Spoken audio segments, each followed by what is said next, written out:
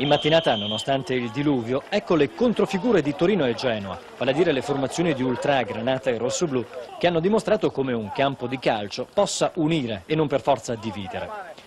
Quindi di pomeriggio ecco il più spettacolare Torino di tutta la stagione, trascinato da Bresciani, autore di un gol e ben tre assist, e da Scoro, del quale si erano perse tracce qualcosa come sei mesi fa. Il primo tempo offre innanzitutto 30 minuti irresistibili dei padroni di casa, che puntando sul ritmo e sull'aggressività mettono seriamente in crisi un Genoa quantomeno frastornato.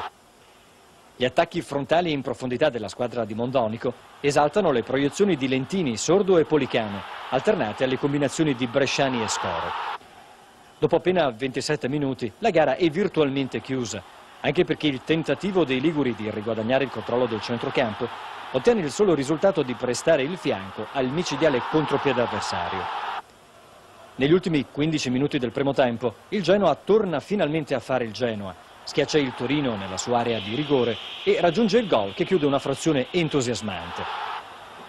L'intervallo consente ai Granata di superare il periodo di momentaneo appannamento, ma gli uomini di Bagnoli sono irriducibili e la tredicesima rete segnata da Aguilera corona l'orgogliosa reazione della squadra rossoblu.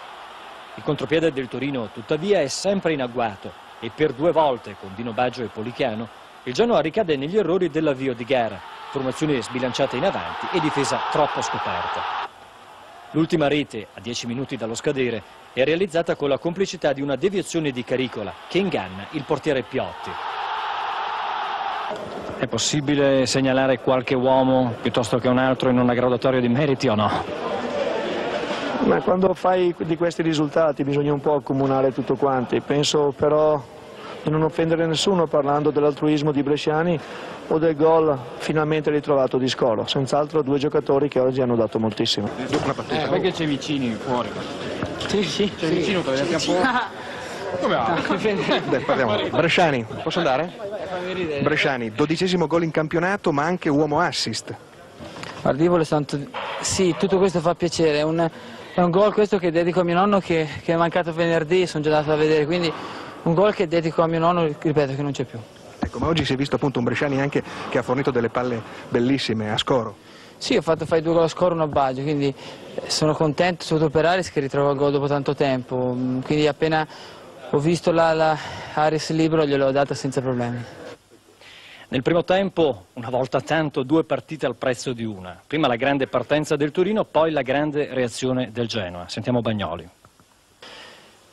Ci dispiace per la gente che si è mossa, eh, che ha tutti i tifosi, oggi ho visto appunto quello che si leggeva che c'erano 10.000 genuani e probabilmente sentivano il momento e, e aver preso 5 gol proprio in questa domenica qua eh, forse è antipatico, ma però io penso che anche il tifoso abbia capito che la squadra ha fatto una partita molto generosa, che ha fatto di tutto, perciò anche sbagliando magari in, certe, in certi momenti, però è da mirare per la generosità che ha profuso.